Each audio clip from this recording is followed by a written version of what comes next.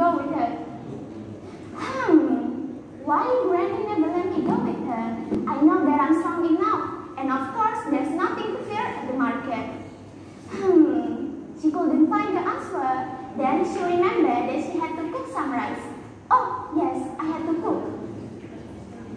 However, she felt that one grain of rice would not be enough for them. Hmm, I think it's not enough for me and my grandmother. Whoa, what if I add the rice? Oh, she gonna add rice. So she took two handfuls of it and put it in the rice pot. Wink, wink. However, she afraid that her grandma will cut her.